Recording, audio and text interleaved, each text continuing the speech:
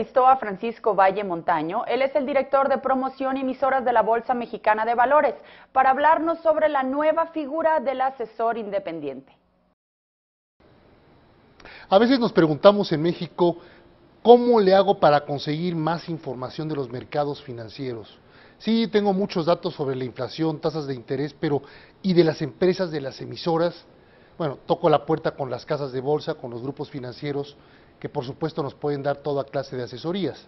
Pero además de eso, ahora acaba de nacer una nueva figura y es la del analista independiente. Y para eso no, qué mejor que nos platique Francisco Valle Montaño, él es director de promoción y emisoras de la propia Bolsa Mexicana de Valores. Le damos la bienvenida, Francisco, aquí Efecto Financiero. Buenas noches. Efraín, buenas Gracias por noches. estar con nosotros. Gracias por la invitación. Recién nacida la figura, Recién nacida. Es esta correcto. semana que acaba de terminar. Así es. ¿Qué es este analista eh, independiente? Mira, eh, vale la pena recordar, eh, en, los- en un mercado de valores organizado, uno de los pilares, uno de los elementos básicos es eh, la información. ¿no? Es por ello que en conjunto la Secretaría de Hacienda, la Comisión Nacional Bancaria de Valores, INAFINSA, hicimos este programa. ¿Cuál es el objetivo de este programa? Prácticamente el objetivo de este programa es dotar al público de análisis objetivo eh, de información económica, administrativa y financiera de todas las empresas que cotizan en la bolsa. ¿Con qué finalidad? Con la finalidad de tener un mercado más transparente y lo más importante, darles herramientas de decisión al- a cualquier tipo de inversión.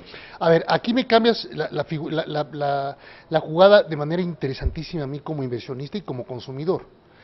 Aunque no invierta yo en bolsa, si yo quiero por pasión, por interés, informarme de lo que pasa en las, em- en las emisoras, tengo acceso a muchísima información. Es correcto. Con lo cual, entonces también le das más fuerza al mercado social para poder tomar opinión sobre lo que pasa en la bolsa mexicana y sus emisoras. Es correcto. ¿no? Eso obliga a que las empresas se cuiden más con la in- información que van produciendo. Así es. Tienen que ser más responsables, tienen que generar más fuerza en la parte, por ejemplo, de la gestión empresarial hacia adentro y hacia, y hacia afuera de la empresa, su relación con la comunidad.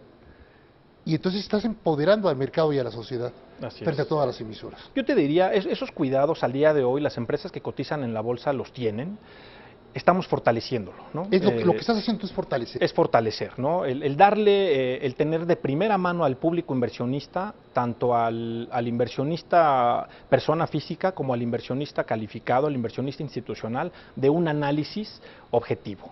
y de cada emisora que opera en la Bolsa Mexicana de Valores. Es correcto. Entonces, ahora, esto significa que voy a tener acceso yo a esta información como persona física o como persona moral, que a través de documentos, a través de archivos eh, electrónicos. a través de archivos electrónicos. Aquí es muy importante, el, inversión, el, el analista independiente es una persona moral, la cual eh, se va a registrar en un padrón que tenemos en la bolsa. Eh, coordinado, uno de los elementos bien importantes de este programa es que este eh, programa va a estar coordinado por un grupo de miembros independientes, el cual va a estar formado principalmente por el comité de emisoras, representando a las emisoras, la AMAFORE, eh, abogados especialistas en la materia, la presidenta de CFA México, lo cual otorgará un, un punto muy particular sobre los analistas. Eh, este grupo de trabajo va a analizar, va a autorizar a estos analistas independientes, que son personas morales, si pueden o no dotar de este tipo. Con lo cual, entonces, también estás apretándole las tuercas a ellos para que no cualquier señor tachito SADCB llegue y ponga su despacho de analista independiente. Por supuesto, es muy importante que cuidemos la calidad del análisis que vamos a tener disponible eh, y, lo- y- y una de las cosas más importantes es que vamos a tener este análisis tanto en español como en inglés, ¿no? cosa que va a fortalecer al mercado mexicano de valores a nivel internacional. ¿Cuándo podemos esperar que surjan los primeros analistas independientes? Mira, los, primeros analistas independientes los vamos a tener eh, en un par de meses. Aquí lo importante a destacar es el primer análisis como tal que vamos a ver, lo vamos a ver disponible hasta septiembre. ¿no? Porque hay, hay- hay una serie de procesos que se van a dar en el Inter eh, que deben de cumplir las emisoras.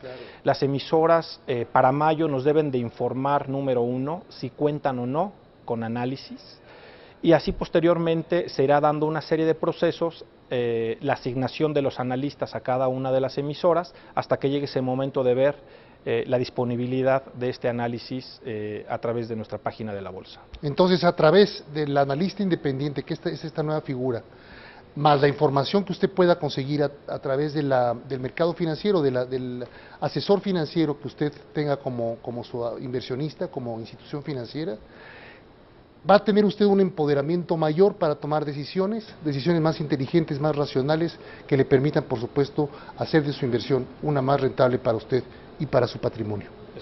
Muchas gracias a Francisco Valle Montaño, director de promoción y emisoras de la Bolsa Mexicana de Valores, por haber platicado de este recién nacido producto, el analista independiente. Muchas gracias, Francisco. Hasta luego. Conozcamos las noticias que impactaron a México y al mundo durante la semana desde la perspectiva de efecto financiero.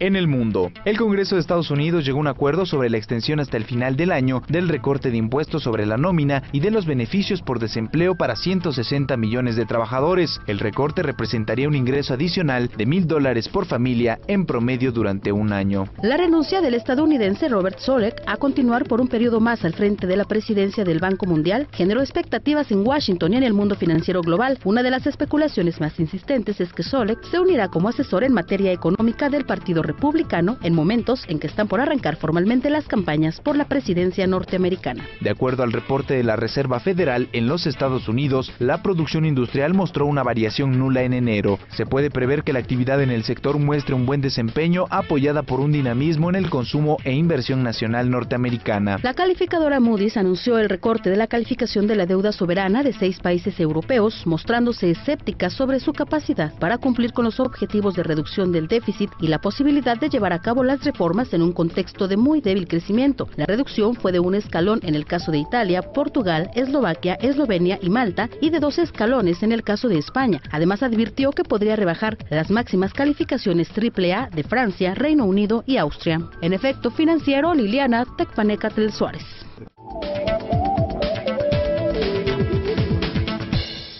En el país, el INEGI informó que la economía del país registró un crecimiento a tasa anual de 3.9% en 2011. Por grandes grupos de actividades, el Producto Interno Bruto de las actividades terciarias se incrementó 4.2%, las secundarias 3.8%, mientras que las actividades primarias disminuyó 0.6%. Petróleos Mexicanos informó mediante un comunicado enviado a la Bolsa Mexicana de Valores que ha elegido a la empresa Ica Fluor Daniel y sus empresas asociadas como las ganadoras de la licitación para el diseño diseño de la ingeniería básica de una nueva refinería planeada en el centro del país. Petróleos Mexicanos no reveló el monto de la oferta ganadora. Lo que se conoce es que tiene planeado poner en operación la nueva refinería en Tula, Hidalgo. El valor total del proyecto se estima entre 9 mil y 10 mil millones de dólares. En efecto financiero, Abel Martínez.